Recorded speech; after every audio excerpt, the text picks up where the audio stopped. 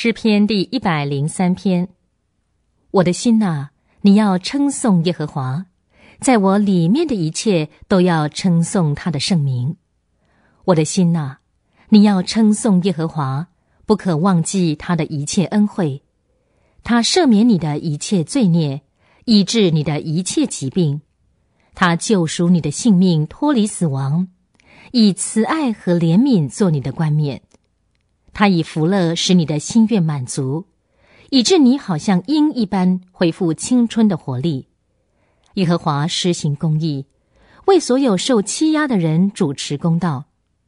他向摩西指示自己的道路，向以色列人显明自己的作为。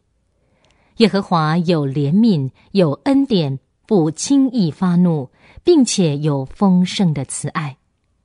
他不长久责备。也不永远怀怒，他没有按着我们的罪过待我们，也没有照着我们的罪孽报应我们。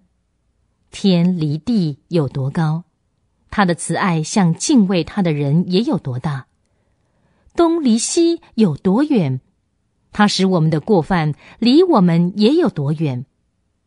父亲怎样连续儿子，耶和华也照样连续敬畏他的人。因为他知道我们的本体，记得我们不过是尘土。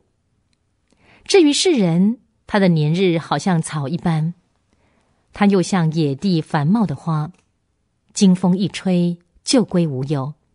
他原来的地方再不认识他，但从亘古到永远，耶和华的慈爱临到敬畏他的人，他的公义也归于他们的子子孙孙。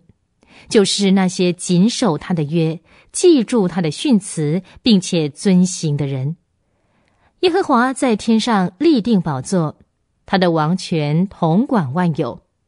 你们做他天使的，就是那些大有能力行他所吩咐以及听从他命令的，都要称颂耶和华。你们做他的众军，做他的仆役，遵行他旨意的。都要称颂耶和华，你们一切被他所造的，在他统治的各处都要称颂耶和华。